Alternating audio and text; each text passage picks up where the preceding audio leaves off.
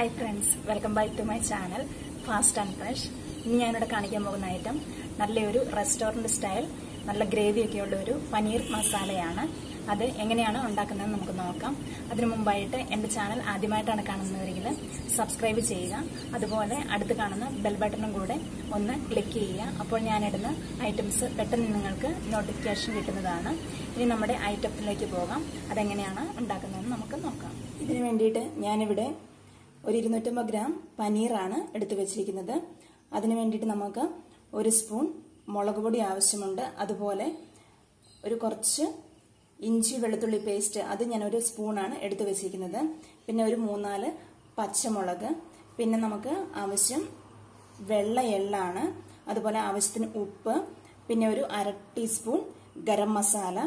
പിന്നെ ഒരു മൂന്ന് സവാള ഞാനിവിടെ ചെറുതായിട്ട് കട്ട് ചെയ്തെടുത്ത് വെച്ചിട്ടുണ്ട്. പിന്നെ ആവശ്യത്തിന് മഞ്ഞപ്പൊടി നമുക്ക് ആവശ്യമുണ്ട്. പിന്നെ അതുപോലെ ഒരു അര ടീസ്പൂൺ കുരുമുളക് പൊടി ഒരു ടീസ്പൂൺ മല്ലിപ്പൊടി പിന്നെ അതുപോലെ അണ്ടിപ്പരിപ്പാണ് ഞാൻ ഇവിടെ എടുത്ത് വെച്ചിരിക്കുന്നത്. അതൊരു ഇരുപത്തഞ്ച് ഗ്രാം മതി. പിന്നെ നമുക്കൊരു ചെറിയ കഷ്ണം ബട്ടറും ഇതിന് ആവശ്യമുണ്ട്. പിന്നെ ആവശ്യത്തിന് എണ്ണയുമാണ് ഞാനിവിടെ എടുത്തു വെച്ചിരിക്കുന്നത്. നമുക്ക് ആദ്യം ഈ അണ്ടിപ്പരിപ്പും വെള്ള എള്ളും കൂടെ ഇത് ഒരുവിധം ബ്രൗൺ ആവുന്നോടം വരെ വറുത്തെടുത്തിട്ട് വരാം.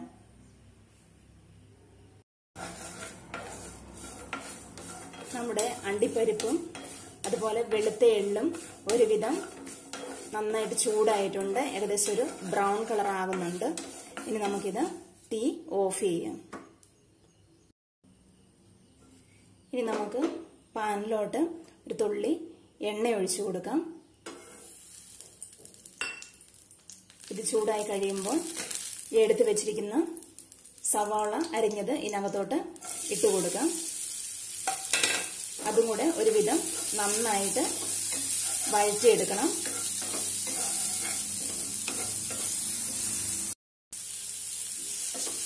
സവോളയുടെ പച്ചമണം മാറി വന്നിട്ടുണ്ട്. നമുക്കിനി എടുത്തു വെച്ചിരിക്കുന്ന ഈ പച്ചമുളകും കൂടെ ഇതിന്റെ കൂടെ ഇട്ട് കൊടുക്കാം. അതും കൂടെ അതിന്റെ കൂടെ അതിന്റെ പച്ചമണം മാറുന്നോടം വരെ ജസ്റ്റ് ഒന്ന് വഴറ്റിയെടുക്കാം നമുക്ക്.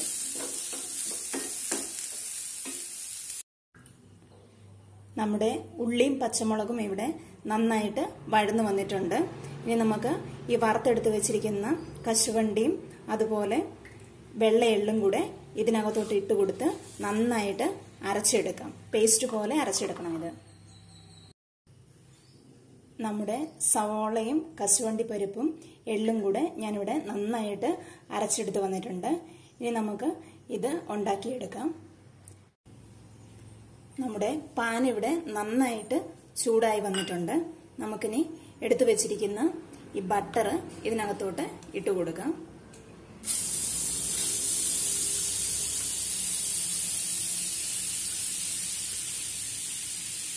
അതൊന്ന് അലുത്ത് വരുമ്പോഴത്തേക്കും നമ്മൾ എടുത്തു വെച്ചിരിക്കുന്ന എണ്ണ കൂടെ ഇതിന്റെ കൂടെ ഒഴിച്ചു കൊടുക്കാം.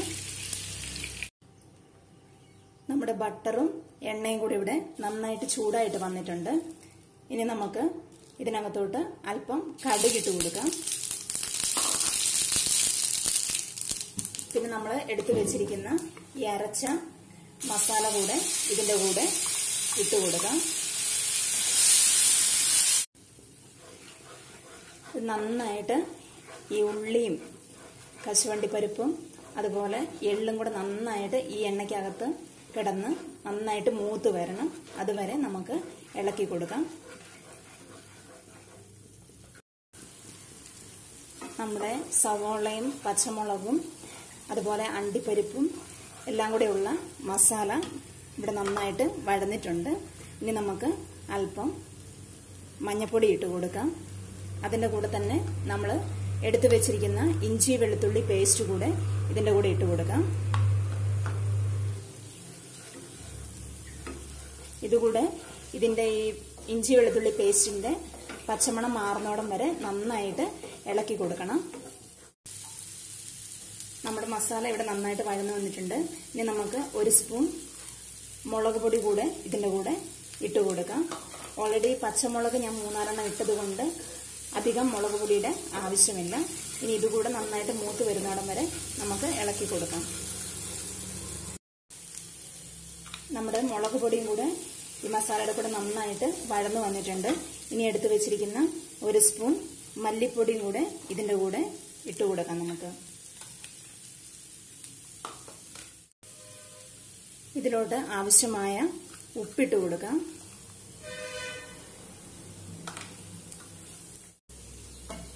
നമ്മുടെ മസാലകളെല്ലാം നന്നായിട്ട് മൂത്ത് വന്നിട്ടുണ്ട്. ഇനി നമുക്ക് ആവശ്യത്തിന് വെള്ളം ഒഴിച്ചു കൊടുക്കണം.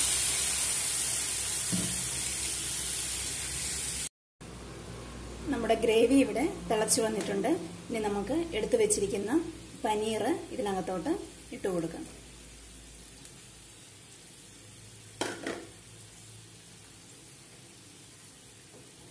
നന്നായിട്ട് ഇളക്കി യോജിച്ചതിന് ശേഷം നമുക്കൊരു പത്ത് മിനിറ്റ് ഇത് മീഡിയം ഫ്ലെയിമിൽ വേവിച്ചെടുക്കാം.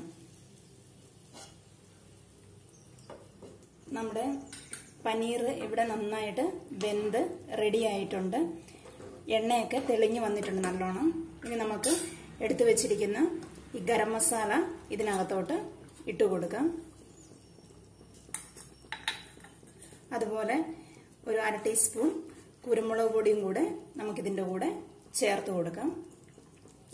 ഇനി നമുക്ക് തീ ഓഫ് ചെയ്യാം.